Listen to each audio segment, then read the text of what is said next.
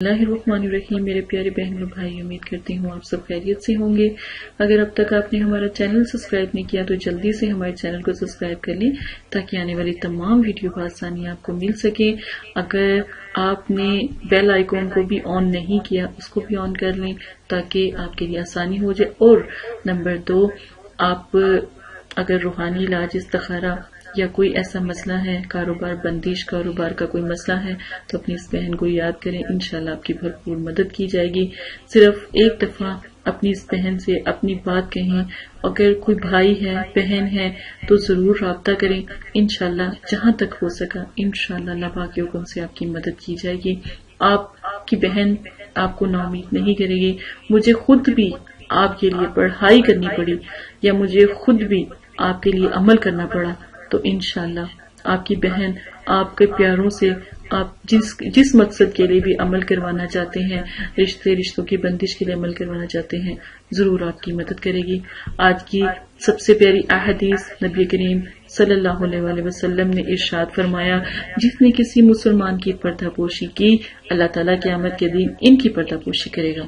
सुबहान अल्लाह हमने भी सो गुनाह किए, सो हमने भी बहुत ज़्यादा हम खुद गुनाहगार हैं। हम कैसे कह सकते हैं कि हम बहुत अच्छे हैं, बहुत हमने तो बहुत नमाजें पढ़ी, कुरान पाक पढ़े। अल्लाह पाक ने फरमाया कि मैं अपनी अपनी इबादत जो किए हुए हैं, जैसे नमाज़ हो गया, कुरान पाक हो गया, ज़िक्र ज़िक्र हो गया, मैं वो माफ़ कर दूँगा। हकूक बाद जो है, जो हकूक, अल्लाह पाक ने फरमाया कि मैं हकूकुल्ला माफ़ कर दूँगा, लेकिन हकूकुल बाद नहीं माफ़ करूँगा।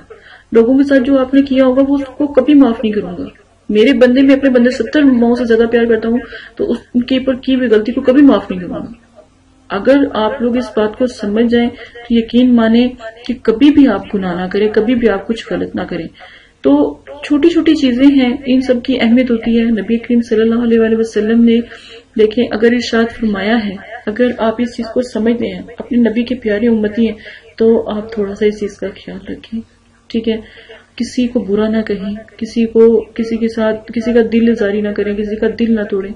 आप यकीन माने कि जो भी आप आप दुआ मांगते हैं, वो भी कबूल होती है। जो आप अमल करते हैं, वजीफा करते हैं, वो भी कबूल। आज मैं जो तरीका आपको बताने लगी हूँ, अमल और वजीफे का सिर्फ़ तीन मरतबा आपने पढ़ना है। और अगर आपके पास तस्वीर है, तस्वीर पे दम करें। अगर आपके पास तस्वीर नहीं है तो तस्वुर मिलाकर उसको दम करें। जिस प्यारे के लिए आप वजीफा करें, एक दफ़ा ये वजीफा ज़रूर कीजिएगा।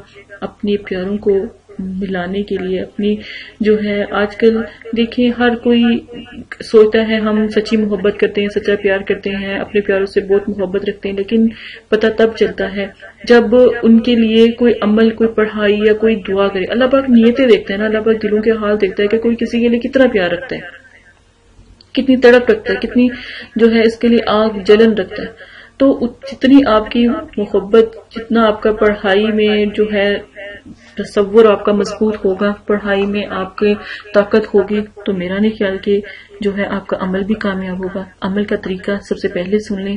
कच्चा अदरक, लहसन, प्याज आपने परहेज लाजिम करना है, ये चीज़ें नहीं आपने खानी।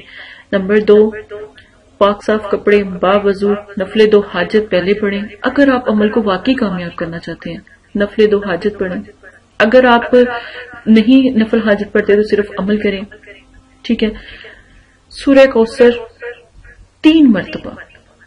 अव्वल आखिर शरीफ के साथ, आपने नाम लेना है, अपना नाम, अपनी वालदा का नाम। उसके बाद अलाखूब सूर्य कौसर पढ़ के उसके बाद अपना नाम, अपनी वालदा का नाम अलाखूब जिसके लिए आप अमल करें, उसका नाम और उसकी वालदा का नाम। कितना भी कोई दूर हो, कितना भी कोई नाराज़ हो, कोई कितना भी रूट चुका हो आप तस्वुर में लाके दम करें। यकीन माने, हर कोई आपसे मोहब्बत चाहत करेगा। जिसके लिए अमल करेंगे, वो आपका वैसे ही दीवाना हो जाए आपसे वैसे ही बहुत प्यार करेगा। शोहर का मसला हो, बीवी का मसला हो, मियाँ बीवी का मसला हो, अपने प्यारों को पाने का मसला हो, सास ससुर ससुराल का मसला हो।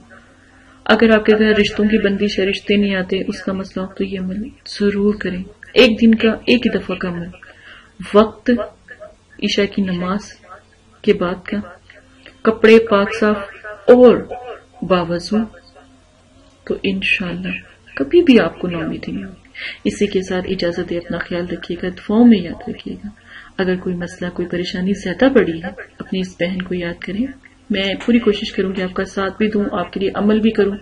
जो आपके हिसाब और इस्तारे में या आपके जो अमल आता है ये जो अमल आपके लिए बेहतर है, आपके नाम से, आपकी वालदा के नाम से पता लगता है तो वो अमल करें इनशाला ज़रूर कामयाब एक दिन के अंदर अंदर कामयाब होंगे। तो ये ज़रूर करें। जजाकल्ला खैरा।